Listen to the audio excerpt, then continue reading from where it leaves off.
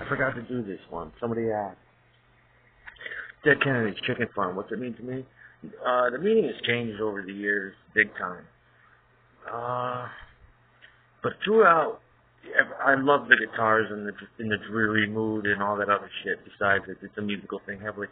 It, I mean, obviously it's about prostitution, but I mean, uh, and camps and shit.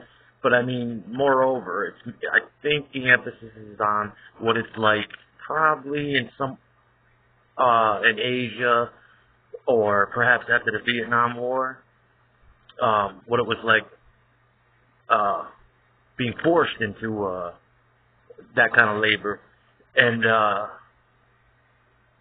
uh, the emphasis really is about that kind of activity during wartime or during a time when some kind of martial law may take over and uh, start distributing people where to which and where camps they're going to. Some will be re-educated, some will go to labor camps, some will go to the men. I'm speaking about some will go to uh, some will just be if you're old, you'll probably be chopped up, thrown in the sea. That's what they always do shit like that. But if you're a girl, that's what you, yeah, and it, that's, and that, I think that's what it's about. And um, and if you're young, you're also SOL, like young boys, kind of. And one of the lyrics early on is, um, you know, uh, she's telling her little brother, "Go play at the dump.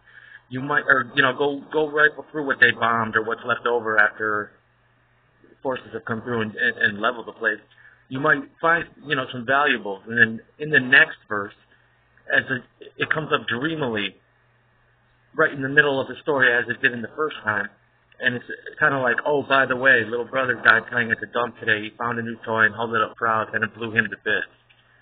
Yeah, um, or or he was, or perhaps that lyric could mean he was forced into a lot of the labor part of the labor. I don't know what they called that, but you had to go and uh, basically uh, diffuse landmines, and they did that for some 20, 30 fucking years, and yeah, and so that pretty much, you know, that's that's never good because it was a it was billions of those landmines.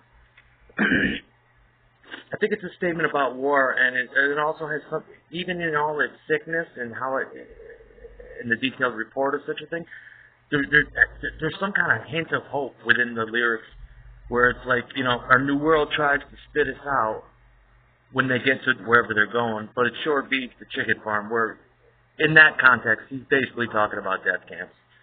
You know what I mean? That kind of thing.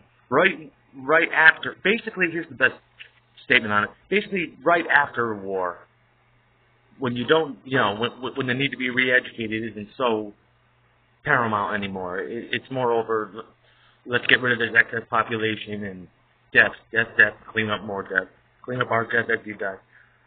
But somehow it, it has a hint of optimism in there.